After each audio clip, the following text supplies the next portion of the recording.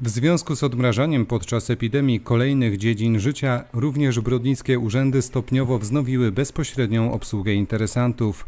W starostwie powiatowym przy zachowaniu obowiązujących rygorów sanitarnych jedna osoba obsługiwana jest na jedno stanowisko obsługi.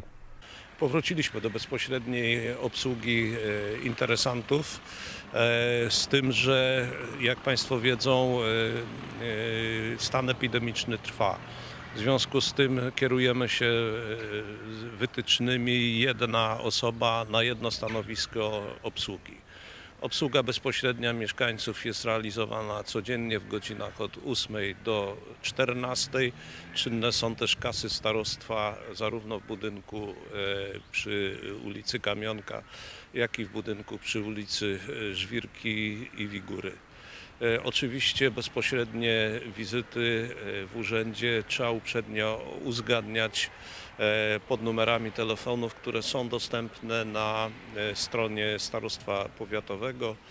E, Także e, podtrzymujemy w dalszym ciągu to, co było do tej pory, czyli skrzynka podawcza przed starostwem nadal działa.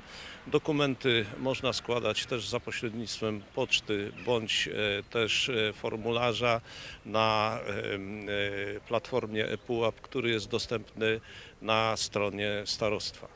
E, Od 5 czerwca wyłączamy już e, zdalną e, pracę pracowników starostwa.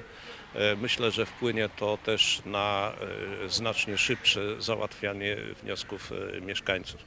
W tej chwili trwają jeszcze prace, dyskusja nad usprawnieniem w tych warunkach covidowskich pracy, szczególnie Wydziału Komunikacji i Transportu, który w tej chwili przeżywa oblężenie. Ale jesteśmy tutaj bliscy pewnych rozwiązań, które w najbliższym czasie będziemy chcieli Państwu przedstawić.